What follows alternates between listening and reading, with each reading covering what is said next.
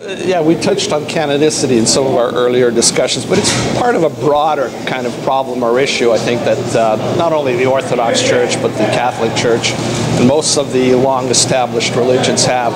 Uh, and that is, is that they, their concerns and what they're spending time on and what they're endlessly debating, like their issues and stuff, are, are, totally removed from the daily lives of ordinary Christians, right? I mean, you look at this symposium the Orthodox Church had, and I've, I've seen bits and pieces of it, I've read about it, I've read reports, I've read some of the speeches and the papers that were presented.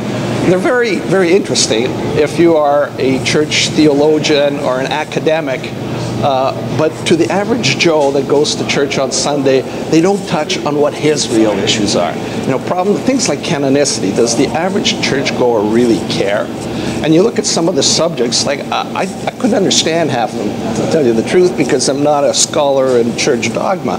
But a lot of them have nothing to do with the world of reality, of, of today's reality. It's like going to an academic conference of subject experts in some field you know, you probably won't understand 80% of it. They understand it, and to them it's very important, but what relation does it really have to my life and to the real world? And I think, unfortunately, the ecclesiastical authorities and all the churches have removed themselves way too much from what the essential purpose of the church should be.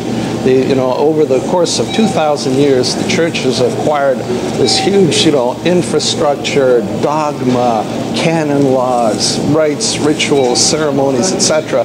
You know, that probably had their place in medieval times or in, in you know the 7, 800 AD or whatever. But uh, I think, unfortunately, it has also taken the church away from its essential role. The original church, you know, the apostles when they went out, the original uh, uh, preachers, whatever, they were teachers, and that's what the purpose of the church was: to bring the Word of God and the teachings of the Word of God to the people as teachers. How much of that teaching is happening today? A young person, say a teenager, goes to church, and it's a beautiful ceremony, but they start talking, you know, with you know, Greek terminology and parables that, you know, made sense 2,000 years ago in Palestinian society, but have no bearing or, or, or relevance to today's life. They don't understand it, and they don't understand what it has got to do with them. Uh, the same thing with you know all of the, the rites and the rituals the, and the rules the, of the church, you know the sacraments and things like that. That didn't exist in the early church for the first two, three, four hundred years of the church's existence. Purpose was simple: go out there and preach, go out there and teach. You know, bring the teachings and, and you know the, the, the principles of, of Christianity to as wide a mass as possible.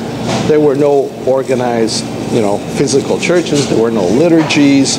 There were no sacraments. There weren't, you know, communion, confession, uh, on and on and on and on. I mean, there was obviously a reason as course, as course of time went on why some of these things were brought in. But I think they've come to dominate what the church does rather than be tools towards an end. They've become an end in themselves rather than the means of an end, which is to bring the average Joe closer to God. And the teachings, you know, the relevant teachings, uh, which I think have gotten totally confused and kind of been pushed to, the sidelines.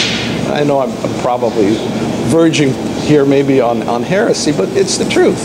Uh, the original church, there was no hierarchy. There were no priests, de deacons, bishops. You look at it now, you know, priests, archpriests, uh, uh, bishops, archbishops, uh, deacons, uh, cardinals, popes, uh, you know, and then you've got gradations of priests with different headgear and stuff like that. you know, I, I, find it hard to, to, to see a lot of the meaning of that there's there's a purpose and a place for symbolism, for, for icons, for ritual and ceremonies, but they should be secondary to the essential teachings of, of what the what the church is, uh, and not be you know 90% of what the church does. Uh, so, yeah, I, I, I, do think that the church has got to get serious uh, about bringing its its teachings and the way that it does the teaching and bringing the Word of God to the people into the 20, 20th century. It's got to start using the language of the 20th century. You know, the parables, the whatever, have got to be of relevance to the 20th century. And who says that, you know, the Bible stopped, you know, in the second or third century BC. Why can we not be adding additional gospel? Are there no devout, you know, scholarly, uh, holy people that can add to that canon of, of teachings with more, you know, uh, uh, modern uh, additions to the Bible? Um, you know, uh, you're just getting me started here because there's a whole bunch of other things that need to be brought into the, the into a sphere of relevance in our modern time. Ordination of women. They're, like Christ never said that women should not be teachers. Well, they were teachers then. Now they, I guess they call them priests. That was an arbitrary decision that was made, you know, many many centuries after the original apostles. Uh, same with uh, you know a lot of the dogma and the canons and the sacraments or whatever. They came a lot later on, and basically they were created by I hate to use the term old men in suits, except they were different suits at that time. But that's what it was. It became a very patriarchal, you know, chauvinistic group of people that set the rules for what the church should be and how it should work, and they do not necessarily, I think, relate to you know the essential teachings of what Christianity is all about. But that, you know, so rather than convene conferences to debate canonicity, which means nothing to the average Joe, and in fact, we all know that canonicity is not a theological issue, it's a political issue. You know, the fact that, you know, the, the canonical church for, you know, Ukraine and Russia moved from Kiev to Moscow. That was not a theological decision made by an assembly of you know religious people with the best interests of the people. It was a political decision made by the rulers of the time for political reasons, right?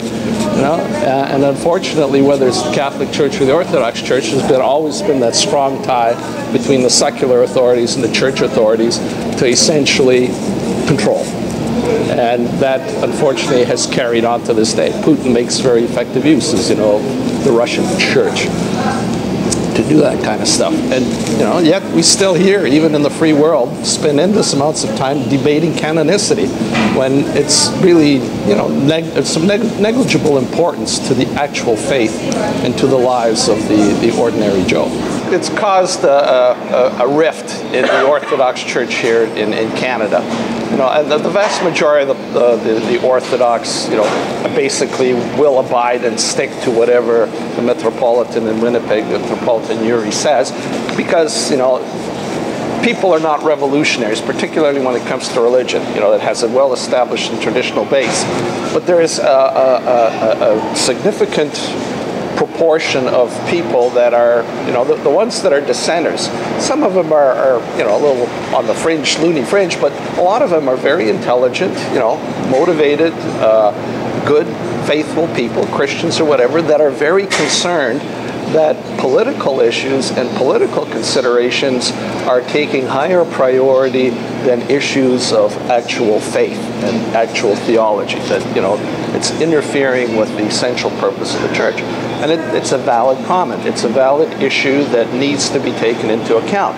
Why should the Orthodox Church, you know, uh, adhere to a principle of canonicity that was discredited centuries and centuries ago because the original uh, you know, movement of the, the seat of, of the Eastern Orthodox Church from Kiev to Moscow was basically done at the end of a sword, right? And it was done by political reasons. There was bribery, there was extortion, there was blackmail, there was, you know, there were deaths, there were, you name it.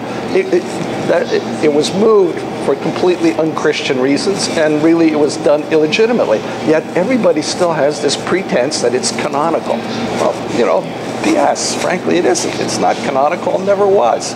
You know, and to kind of pretend that it is and adhere to it just I don't know why, is, is kind of silly. It just kind of uh, cheapens and debases the whole uh, essence of what Christianity is all about. The same way that, you know, the Catholic Church also has this whole thing of succession, you know, direct succession, canonicity of the popes, you know, from Peter, etc.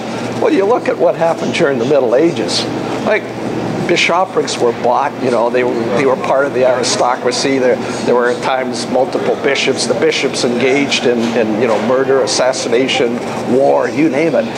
They for several centuries, you know, the papacy was totally discredited as a Christian, you know, uh, structure.